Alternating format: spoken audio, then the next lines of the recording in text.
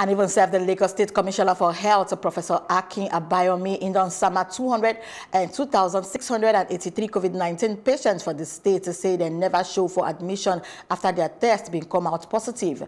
Abayomi summed this one for in Twitter handle at Professor Akin Abayomi and said the patients out of fear of stigmatization and plus say they no know as the matter go take be, say they no agree show up for the isolation centers.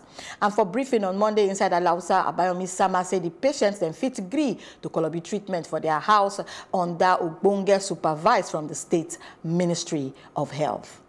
It is essential that government knows about every positive case of COVID-19. So it is actually illegal to test outside of government framework.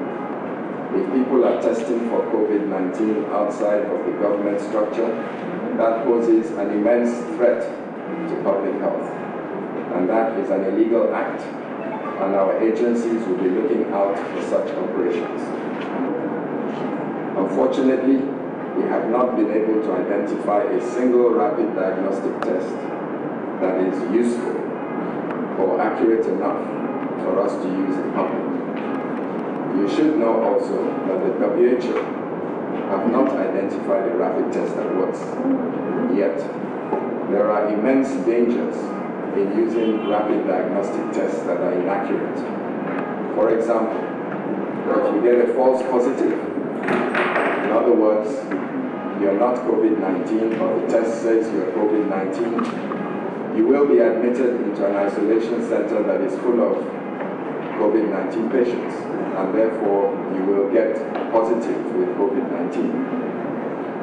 If you are COVID-19 positive and the test misses it, we will tell you that you're negative with this false reading, and you will be permitted to go about your normal business, where in fact you will be infecting people by virtue of your contact with community. And indeed, you may get quite sick, and you may tell your doctor that you're COVID-19 negative, and then you will receive you will not receive the appropriate treatment for COVID-19 and this may result in fatality. There are two categories of patients that need to be tested or that can be tested. We place them in two categories. One is need to be tested.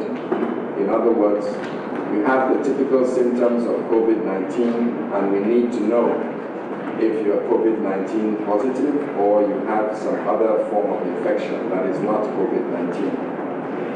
The typical features, as you know, of COVID-19 positivity are a high temperature, a sore throat, aches and pains, headache, and quite typically loss of taste and smell. So it may also be a requirement for you to be admitted into hospital for non-COVID conditions. As you know, there are some hospitals that are turning away patients because they don't want to contaminate the hospital with COVID.